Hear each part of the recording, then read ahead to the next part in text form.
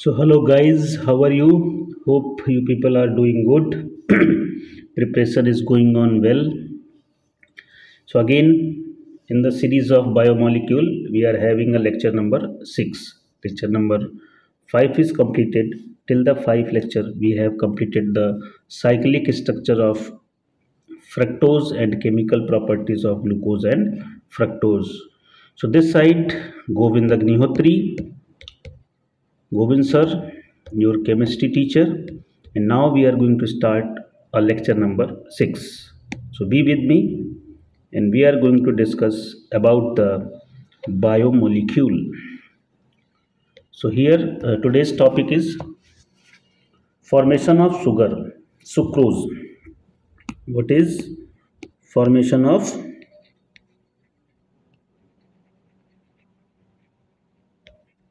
formation of sucrose. Okay. So how sucrose is formed that we are going to discuss. So tell me about the hydrolysis of sugar. Sugar if we are having and acidic hydrolysis if you are doing that means in the presence of acid it decomposes into alpha d glucose plus beta D fructose. What is the decomposition? Alpha D glucose and beta D fructose. So that is the decomposition of uh, that sugar. Sugar is C12 H22O11 that sucrose if you are doing acidic hydrolysis then alpha D glucose and beta D glucose formed. So what is the structure of sucrose or cyclic structure of sucrose that in this lecture we are going to discuss. So check it once what is the um, structure of alpha D glucose. So it's, it's a six member ring.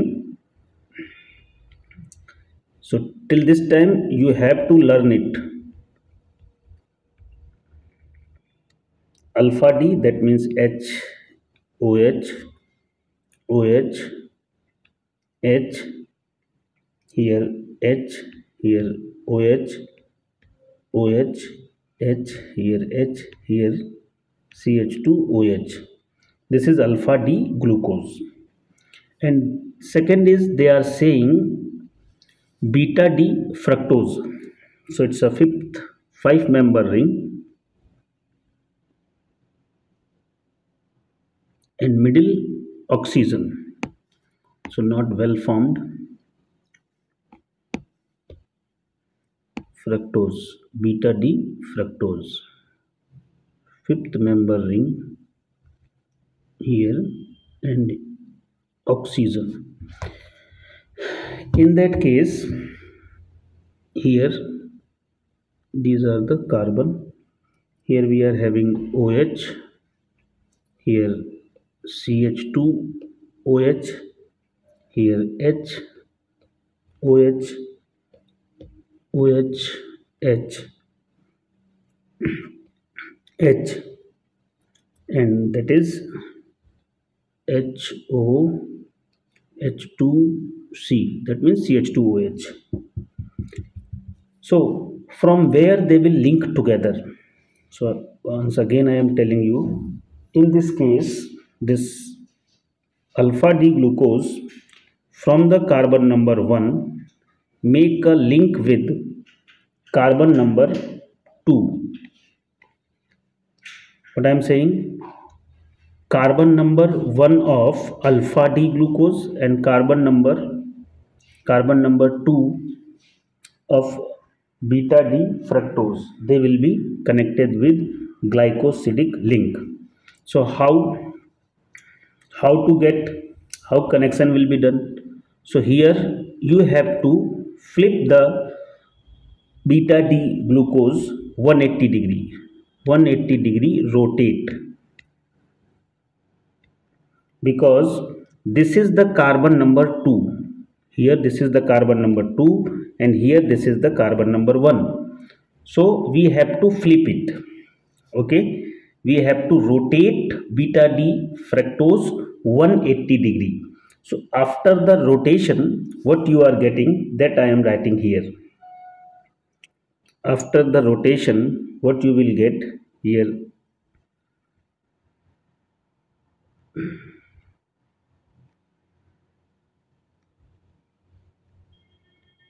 oxygen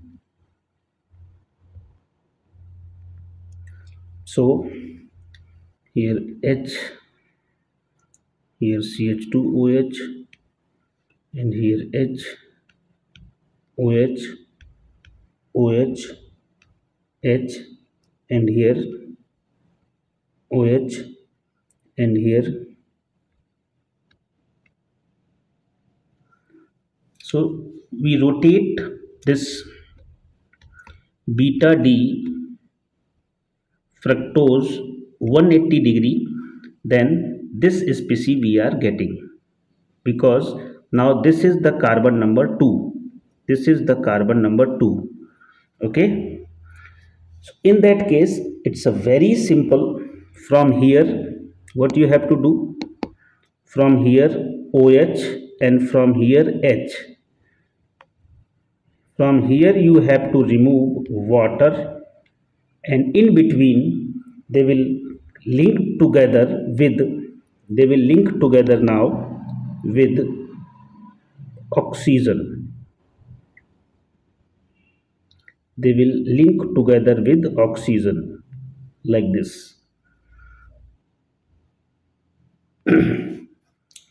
so alpha d glucose and beta d glucose connected with c1 c2 and this link is called glycosidic link. Here here i am writing.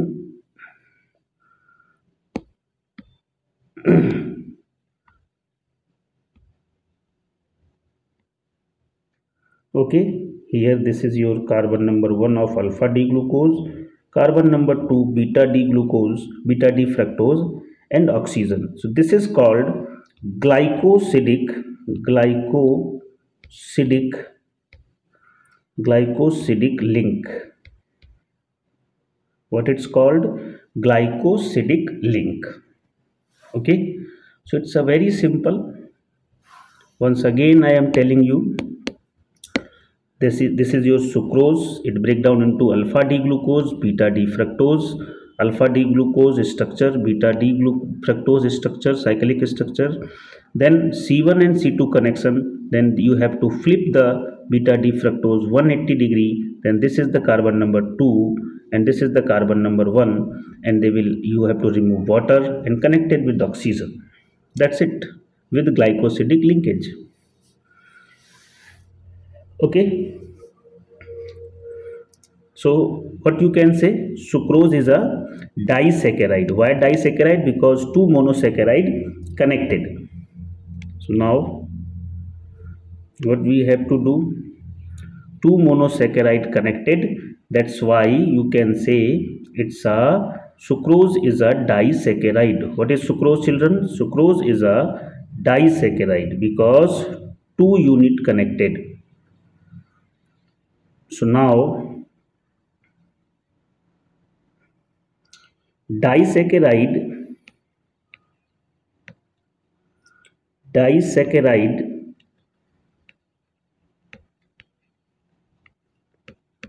what is disaccharide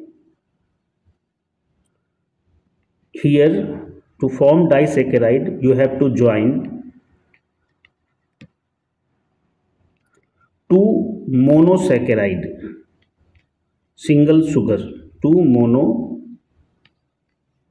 two monosaccharide. You have to join two monosaccharide then disaccharide form. That means monosaccharide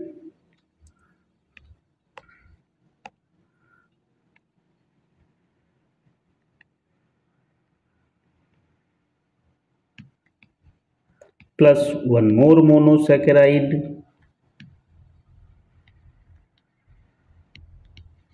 and it will form disaccharide.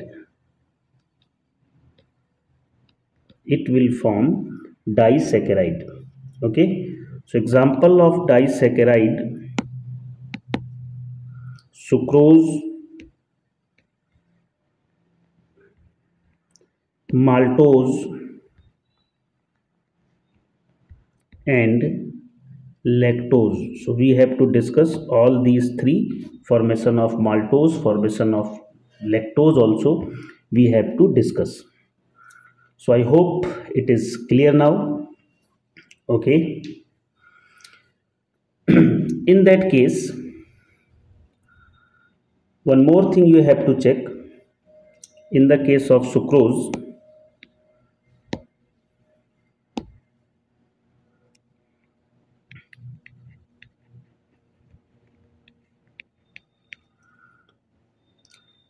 in the sucrose alpha and beta species connected with glycosidic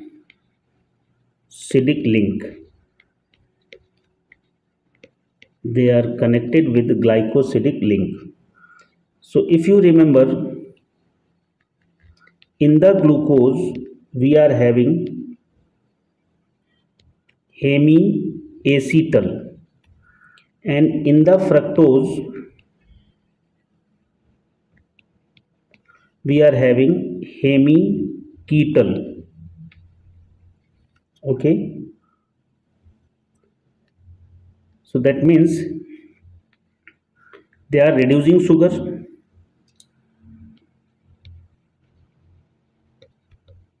Reducing sugar they will give positive test positive test. They will give positive test with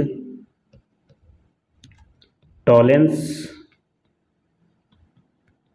Fehling and Benedict. Okay?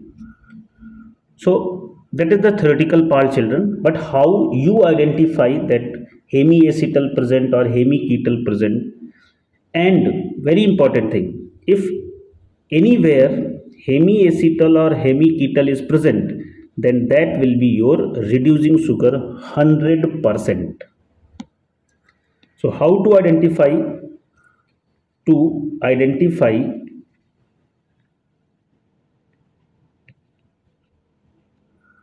hemiacetal.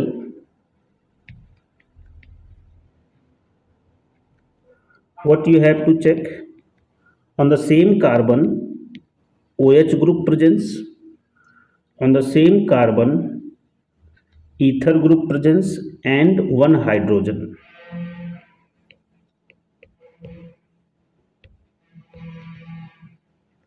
To identify hemiketal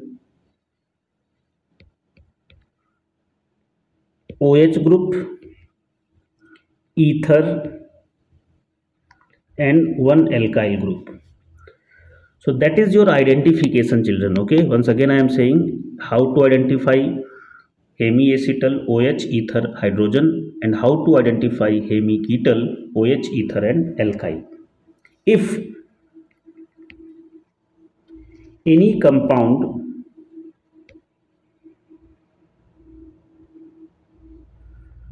have it.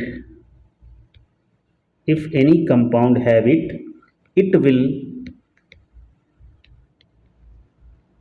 it will be a reducing sugar.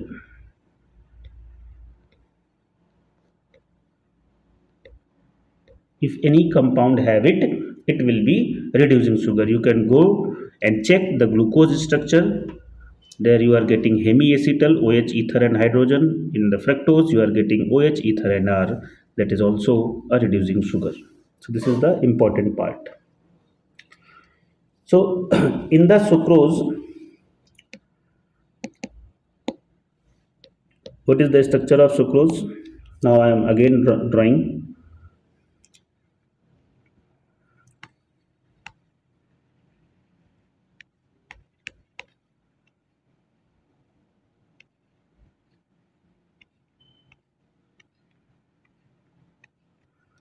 so here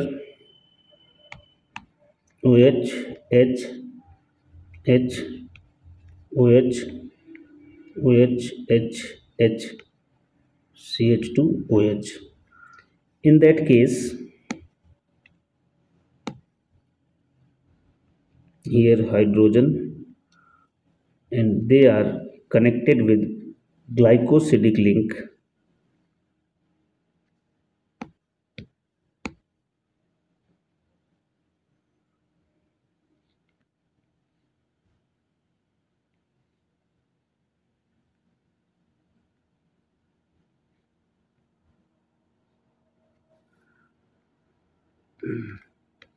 here oxygen here H here CH2OH in this place H OH and here OH H and here HOCH2 okay? This is carbon number 2 and carbon number 1 so that is the sucrose structure children. Alpha d glucose and beta d fructose. In both cases we are not having hemiacetal or hemiketal so it is a non reducing sugar. Sucrose is a non reducing sugar non-reducing sugar. Okay? So this is all about the sucrose. Now one more topic. Here we will discuss and complete the sucrose. Invert sugar.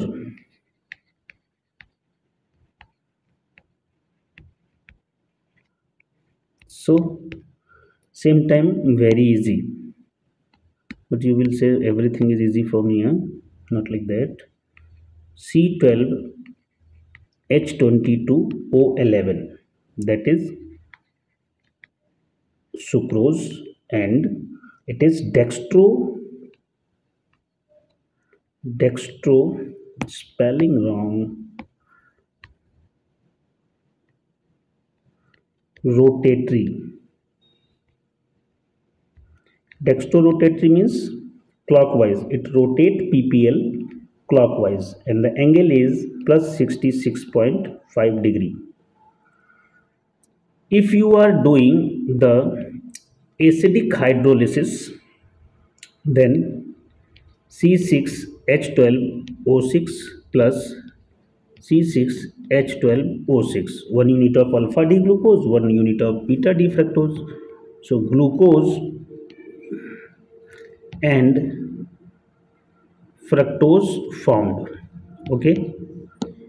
In this case in this case this glucose is dextro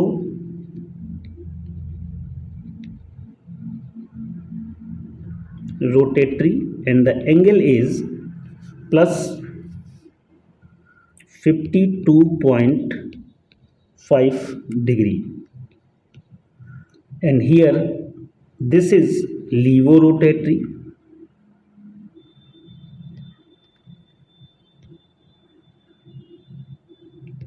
And the angle is minus 92 degree. Why minus? Because it's a levorotatory. So see children in that case in the container if you are putting this sugar sucrose and you are passing PPL then PPL rotate in the clockwise direction and the angle is plus 66.5 at the same time if you are having this and this both alpha D glucose glucose and fructose both in the container and you are passing PPL plane polarized light. You are passing PPL then what is the rotation? Clockwise or anti-clockwise? That is the point here.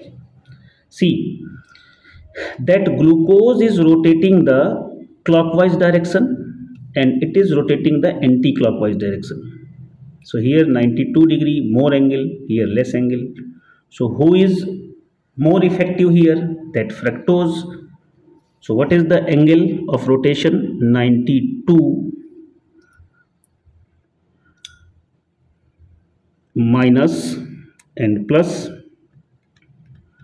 52.5 from here we are getting minus 39.5 so if ppl is passing from this solution then rotation will be anti-clockwise levo rotation. And the angle is minus 39.5 degree. That's why it is a invert sugar. First sugar is clockwise rotation and after the hydrolysis the solution is having levo rotation. Dextro to levo. Positive direction to negative direction positive direction to negative direction that is the point about the invert sugar I hope it is clear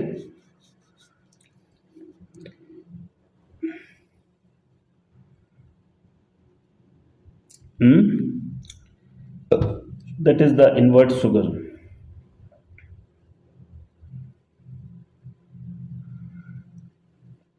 so this all about the sucrose is completed.